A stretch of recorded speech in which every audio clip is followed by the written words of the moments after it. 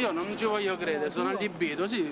Ma come Fatima? Cioè, E Luca, lui è Diego Bianchi, Luca, Luca, Ciao, piacere. e avrei Fatima. potuto conoscere in un altro momento, ma... Tu sei fighissimo! Sì, sì, ma la macchina ce la ridanno. Sa, ma secondo te io sono scemo che parcheggio la macchina è un che amico, devo tornare a Roma ma dove non posso la parcheggiare. Fatima, ti giuro, io sono allibito, guardavo lei e fa, ma questa è la mia Veramente, verità macchina. è fino adesso abbiamo detto, ma questi coglioni che hanno parcheggiato, Eh, che è la fa- verità, però. Il voto è tornato, via. E Luca, devo io bene, se vedo moto. È una storia a lieto fine. Alla fine eh, Pier Francesco è riuscito ad andare in tempo al, al deposito e siamo tornati, siamo tornati a Roma. Ma c'è stato anche questo momento con la grande sincerità di lei che dice fino a qua, fino a un minuto fa abbiamo detto ma chi è sto coglione che ha parcheggiato la macchina così? Ah sei tu, grandi amici, Pier Francesco, cerchiamo. Ok. Dopodiché appunto andiamo.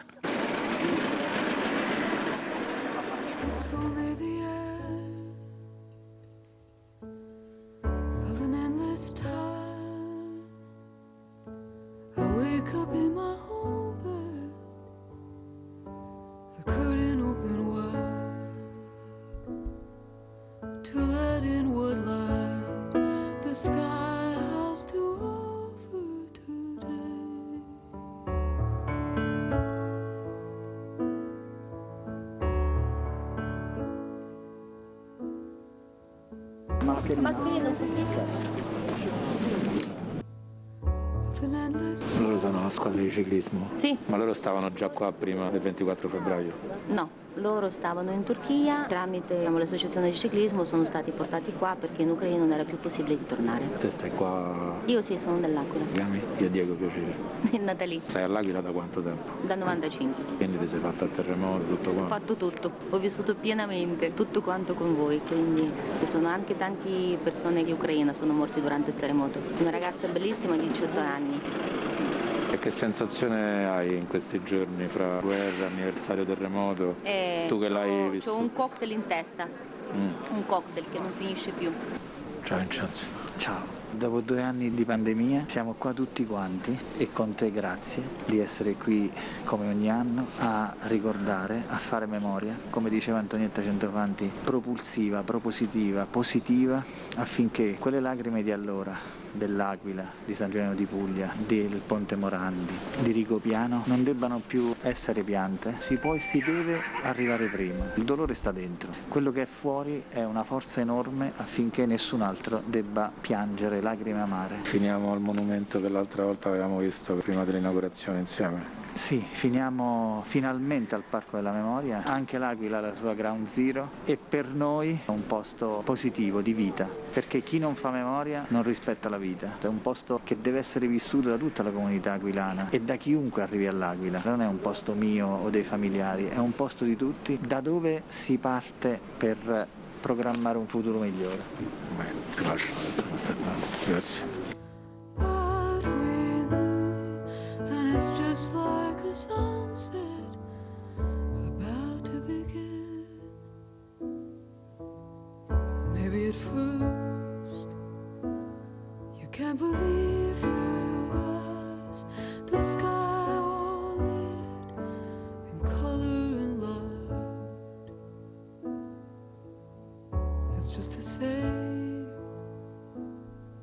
as right before you left.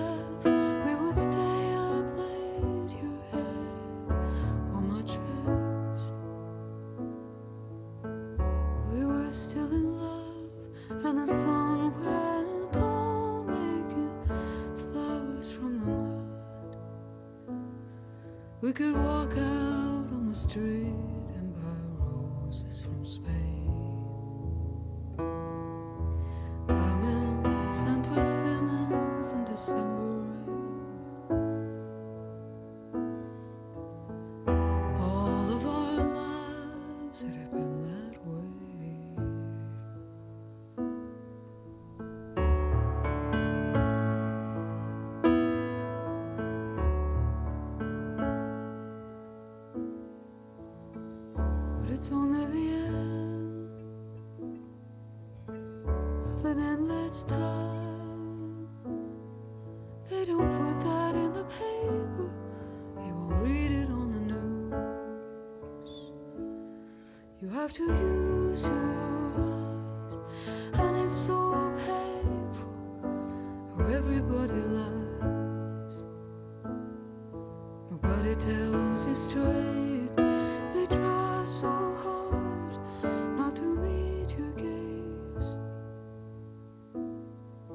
Can still walk out on the street and buy a champagne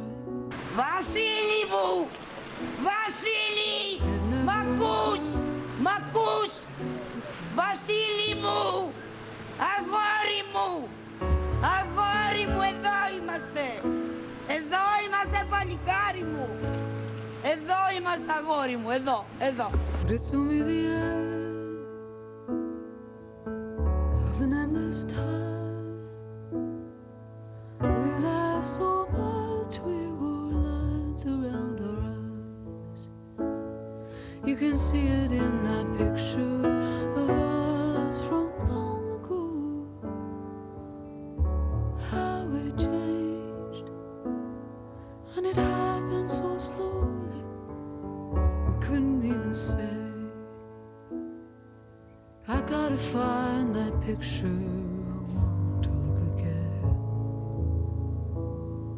I.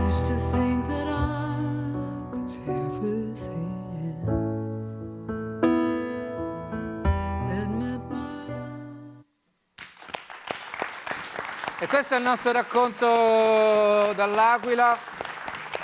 E ringrazio tutti quanti coloro che ci hanno permesso di farlo. Vincenzo Vittorini avete visto eh, intervistato e, e continueremo a tornarci per raccontare quella città e, e le storie che con quella città si, si intrecciano ogni anno.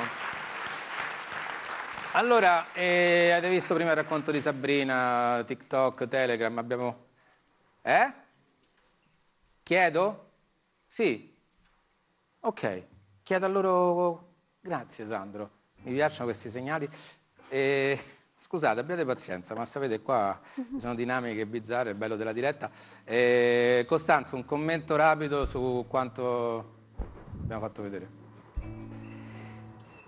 Eh, ehm, gli aquilani sono, eh, io li ho seguiti ovviamente dal, come tutti noi dal 2009, eh, hanno fatto vedere una grande resistenza e eh, una grande forza anche nella ricostruzione nonostante una situazione veramente disperata all'inizio, distrutta un'intera città, tante vittime, eh, tante, eh, tanti sfollati. ehm, ehm, la tragedia non è meno grande se si distrugge un piccolo paese o una grande città, ma eh, trovarsi in queste macerie come se fosse caduta una enorme bomba era una situazione di una desolazione totale.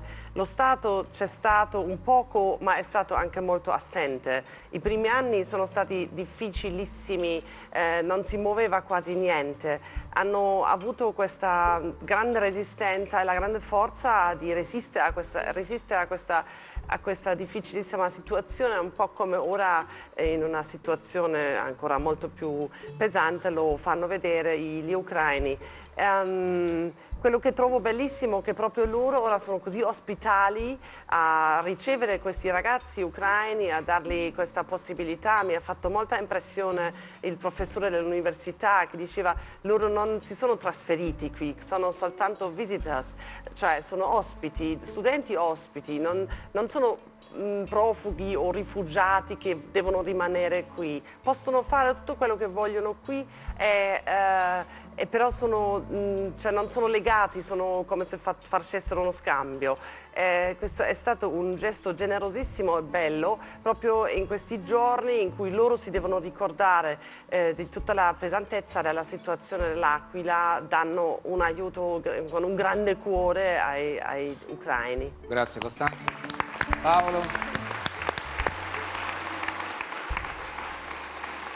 Senti, il filo dell'importanza appunto di ricordare e di ricordare eh, in modo preciso, quindi da, da quello che abbiamo visto da, da Francesca dell'Ucraina, eh, Ilaria ehm, e adesso eh, l'Aquila. Tra l'altro eh, in alcune testimonianze, quelle di Sabrina, eh, quando lei raccontava quello che le dicevano che- di quello che è successo a Bucia, a Irpin, erano le stesse parole delle testimonianze di Francesca e che raccontava Francesca.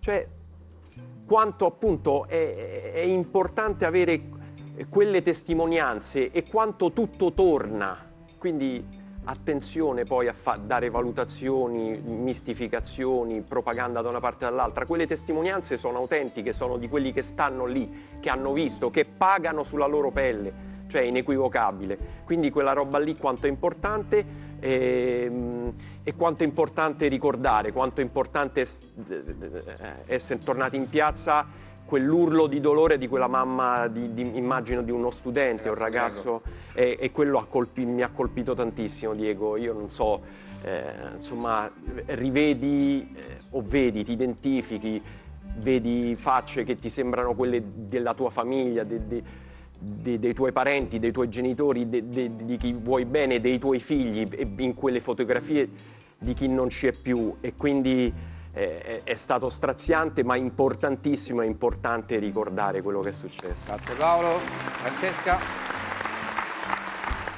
Guarda, in due parole sì, la memoria, mm, come bene ricordare quel dolore che ha vissuto l'Aquila, che ha vissuto l'Italia e questa città che apre le porte a chi sta vivendo un dolore simile. Mi ha molto colpito questi studenti che sia il primo che ha intervistato all'università che Sabrina parlano di senso di colpa, il senso di colpa di chi si è salvato, di chi è al sicuro, il senso di colpa verso le famiglie che sono ancora, ancora là, ancora in Ucraina, ancora a rischio.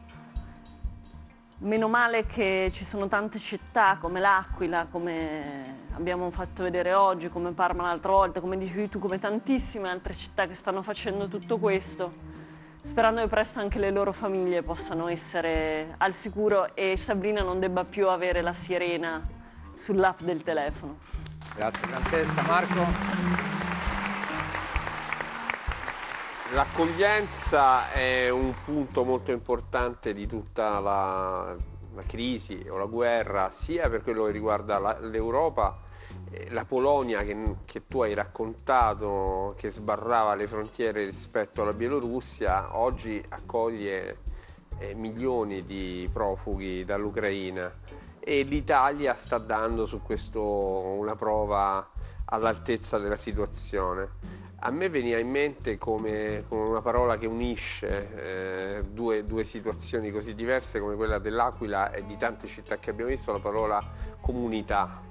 Perché l'Aquila eh, in questi 13 anni è un, eh, una sintesi di tante eh, sciagure italiane, quelli che ridevano quella notte, che noi non dobbiamo mai dimenticare quelli che ridevano, perché c'era la ricostruzione, era una grande torta, eh, poi le manifestazioni di protesta, ma anche eh, la dignità eh, e l'orgoglio di una comunità che non dimentica, che continua il 6 aprile a quell'ora a ricordare i suoi morti. E questa comunità dell'Ucraina che, che è sottoposta a una prova eh, tragica, drammatica e che si ritrova in una comunità nazionale e anche Sabrina in fondo ne è la testimonianza con la sua famiglia che diventa quasi eh, una famiglia di carattere privato che diventa un volto collettivo. E una comunità come quella dell'Aquila ha le risorse interne per accogliere perché accoglie un'altra comunità e si riconosce eh, in- una comune umanità eh, ferita. Grazie Marco. Filippo? Ho, pens- ho pensato a un, ho pensato a un rovesciamento, cioè la forza della debolezza, nel senso che gli eventi che poi fanno la storia e che fanno comunità sono proprio quelli in cui l'umanità si scopre debole, fragile e, e ha la forza di eh, rinascere dalle macerie e di esprimere la generosità, una generosità che viene dal basso. E questo è una lezione. Grazie Filippo.